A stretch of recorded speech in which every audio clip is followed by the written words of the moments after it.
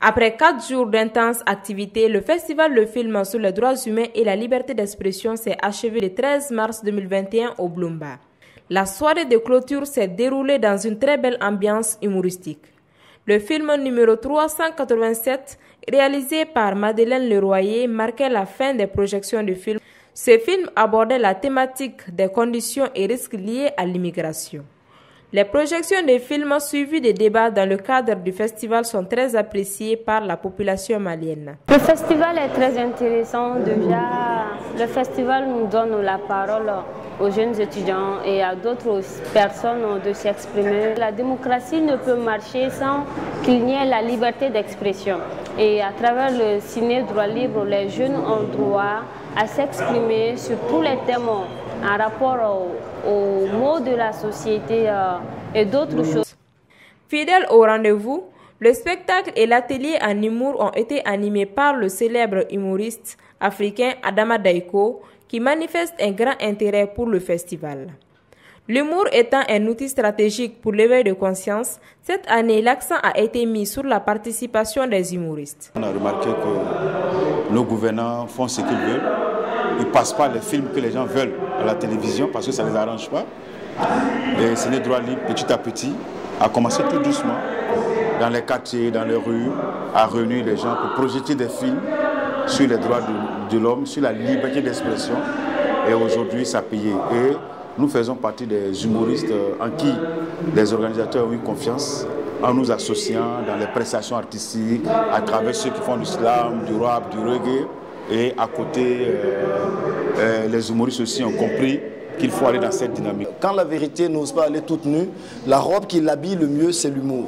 Et moi, je pense que l'humour, c'est un outil qu'on peut utiliser même dans la politique pour euh, décomplexer certaines situations, pour aussi toucher à certains tabous avec de l'humour, parce que l'intérêt de l'humour est pas de faire du juste pour rire, c'est aussi d'enseigner, de conscientiser, de sensibiliser et d'informer. Donc je pense que c'est un outil nécessaire pour une démocratie au fait. Si vraiment euh, tous les festivals euh, pensaient aux humoristes, je crois que euh, l'Afrique, le monde même ne serait pas dans le problème, les problèmes dans lesquels on se trouve. Parce qu'il faut reconnaître que l'humour aussi a sa place dans la vie de tout un chacun. Le sens de l'humour, l'humour apporte beaucoup de choses à la vie de l'homme, de l'être humain en question. En plus de l'humour, Plusieurs activités ont marqué la cinquième édition du festival, notamment le masterclass en écriture cinématographique et journalistique. Une fois de plus, l'espace enfant était au rendez-vous du festival de films de ciné droit libre. Le masterclass en graffiti a enregistré la participation d'une vingtaine d'étudiants de l'Institut national des arts et du conservatoire Balafaseke de Bamako. Ciné droit libre a organisé un atelier de formation sur la peinture et le graffiti donc euh, nous sommes venus exécuter le travail aujourd'hui. durant quand même ce travail, j'ai appris plusieurs choses, comme le travail en équipe, la complémentarité. Et puis je n'avais jamais en fait travaillé avec la bombe. Donc euh, grâce à cet atelier de formation avec Deris, j'ai appris une nouvelle technique en fait. Et vraiment ça ça m'a donné encore plus de courage pour pouvoir continuer l'art. Ciné Droit me permet en fait, de pouvoir échanger cette expérience avec les autres artistes. En fait. Donc euh, là, je suis euh, venu pour échanger plus avec les artistes aujourd'hui sur un mur.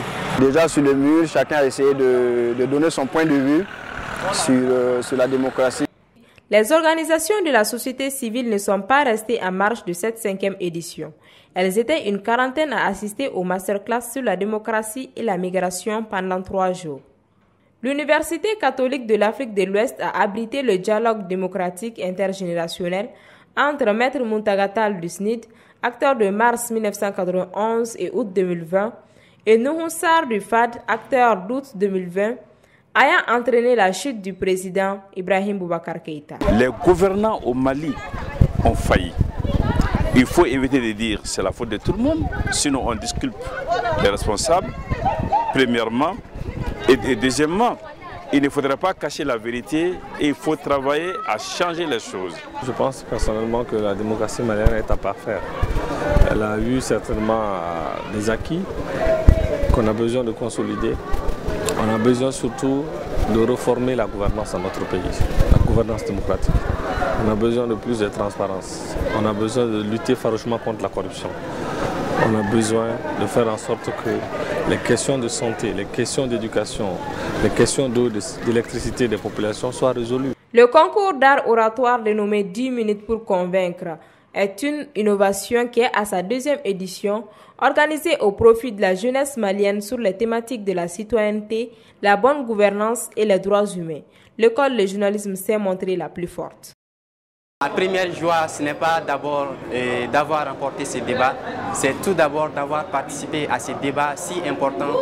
Et les thèmes que nous avons débattus sont vraiment d'actualité et sont des thèmes euh, que chaque citoyen est amené à se poser chaque jour dans son pays et chaque citoyen qui pense aussi au développement de son pays. Le festival Le Film sur les droits humains et la liberté d'expression a gagné le pari de cette cinquième édition à Bamako, malgré plusieurs reports. Je pense que le festival est, très réussi. Ça a été vraiment un régal. Toutes les activités auxquelles j'ai assisté, c'était très bien. C'était le divertissement avec le contenu. Euh, tout le monde a donné ce qu'il fallait. Euh, thème, le thème la démocratie a été très bien débattu. Je pense qu'on a passé quelques messages là-dessus et je pense, que les messages ont été entendus. Ça ne veut pas dire que le travail est fini. Il faut qu'on continue. La liberté d'expression, l'approfondissement de la démocratie, il faut qu'on continue le, travail. C'est pour ça que je dis vivement encore beaucoup d'éditions de, de Ciné Droit Libre dans l'avenir. La cinquième édition s'est tenue, c'est le plus important, avec beaucoup de succès. Euh, les thèmes ont été débattus en profondeur. Il y avait de très bons débats. Les ateliers, j'ai assisté à quelques ateliers. Chapeau, la jeunesse malienne là, le niveau est en train de monter. Euh, et surtout au niveau des jeunes filles, je vois les interventions, je dis waouh, il y a un travail qui est en train d'être fait, qui porte fruit. Et ça, c'est une très grande satisfaction d'avoir pu faire tout ça. Et donc, je suis un organisateur comblé. Un hommage spécial a été rendu à l'artiste, comédien et humoriste Habib Dambélé dit Gimba National lors de la soirée de clôture du festival.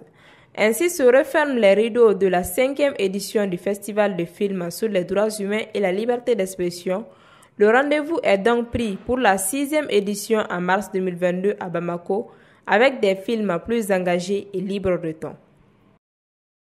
Droit Libre TV, la web télé 100% droits humains, 100% liberté d'expression.